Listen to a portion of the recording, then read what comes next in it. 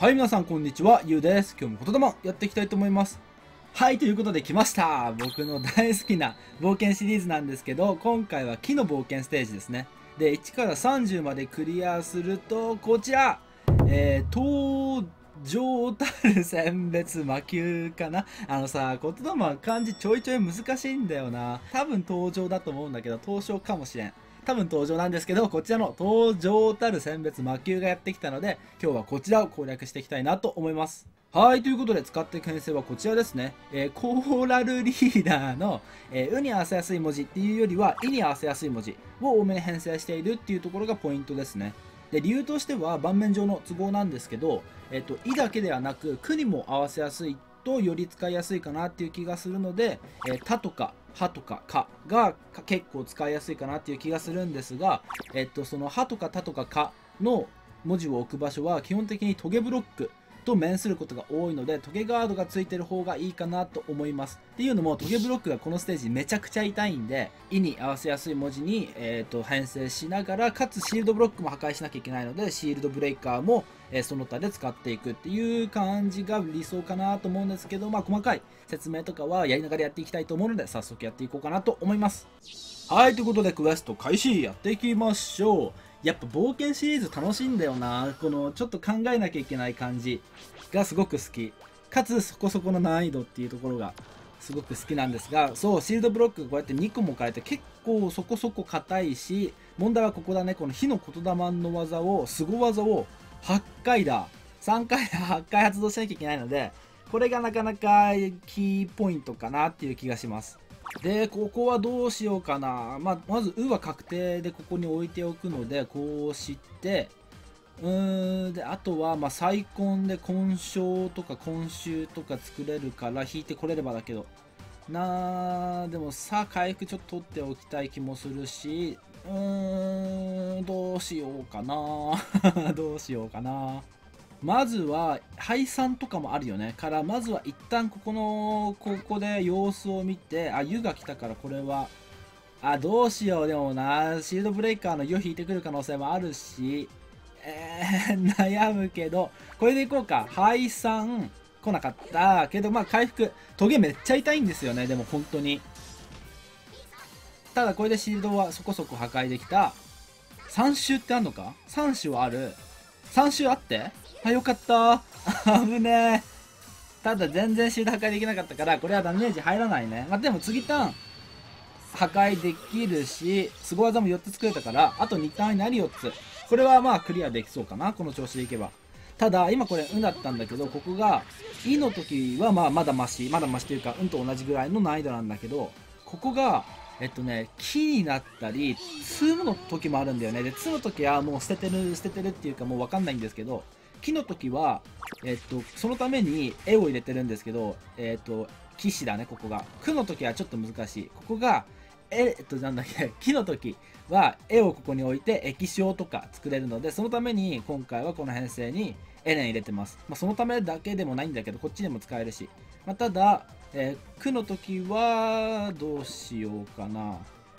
まずは、液晶じゃなくて、ここで苦笑を作って、あ、タ来たね。卓章があるから、ただ、大国の方がいいかな。あ、英国でもいいか。でも回復ちょっとしたいから、他かな。まあ、ひとまずここにこう置いて、大国で行きます。これで多分シールド全部破壊できるし、かつ、左側も倒せるんじゃないかな。で、ターゲットを左に絞ってるんだけど、あの特に、あの、毎回とりあえず雑魚的にしてるんですよ、ターゲット。あ、ちょっと待って、これ。あー、でもいっか。うん、左のままでいいや。そうで、なん、左側を倒さないと何が起こるかっていうのは正直ちょっと把握まだしてないんですけど、まあ、大体ね、大体言霊って雑魚的倒しておいた方が吉いだから、うん、ちょっと能力把握せずにこれやってるんですが、まあこれでいいんじゃないかなと思います。さあ、そしていいダメージ入って回復も完璧。さあ、そして弱点5だから、世でも結構いいダメージ入る。で、あとはこれを凄技さえ克服じゃない、クリアしちゃえばいけるので、ここは A 角。これでクリアできた各種。さあ、いいダメージ入るプラス、ミッションというか、爆弾を解除していく。でこの「か」も結構使いやすいんだよね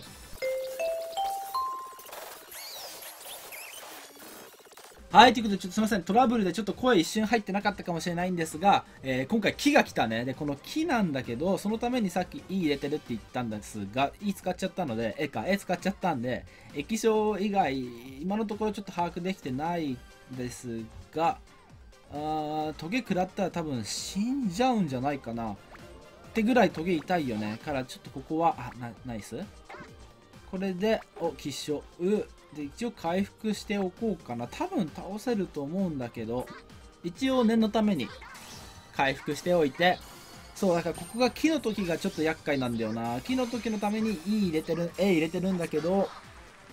うん、もう1体欲しい気もしなくもないけどあんまり来ないから、まあ、1体でいいかなっていう気がしてるんですが入れなくてもいいまである。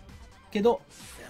OK とりあえずこれで倒してたんじゃないかな。倒していく。ナイス。